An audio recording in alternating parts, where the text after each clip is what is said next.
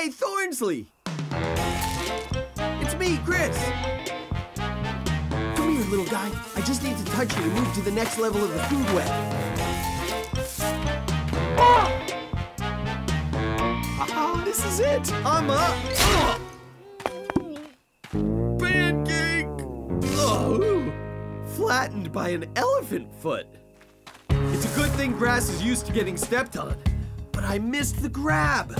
Herbivores, come back!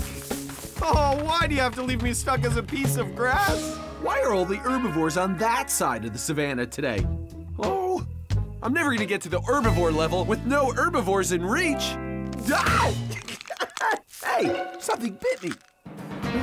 Whoa! Ow! Those jaws are powerful, but hey, I'm really happy to see ya! Because you're one of the most incredible grass eaters around, the harvester termite. Ow! Ow!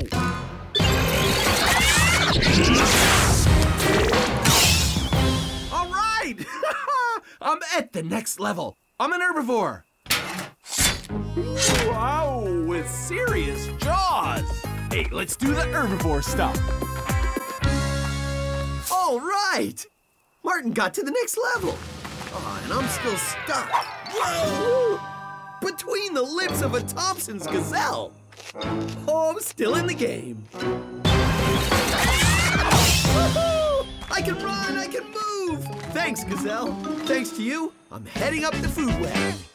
They're off, each on a different path through the food web. A path through the food web is a food chain.